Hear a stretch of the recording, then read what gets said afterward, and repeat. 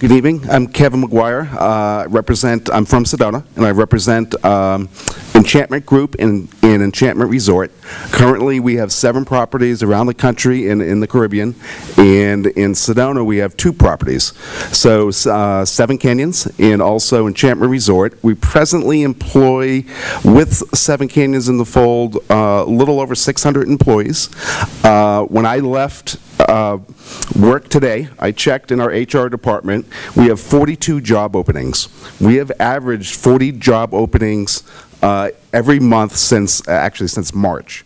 We can't fill the positions that we have in, in, at our properties. And we do not have qualified uh, individuals, you know, coming into the marketplace, and so we don't have the staff. As a, I am trained as a chef, and as a chef, I'm a teacher. I look at the youth, I look at the individuals, and I mentioned this to Modi a little bit earlier. Uh, there was a time up until about two months ago that I went a full year without hiring a server in the restaurant, uh, any of our restaurants.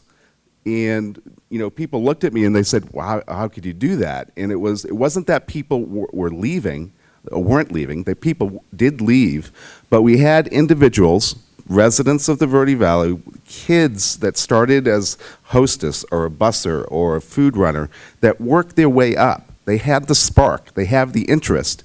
And as you listen to some of the other restaurateurs and some of the other professionals, we love that. When we see that inspiration, when we see that spark, it inspires us to teach.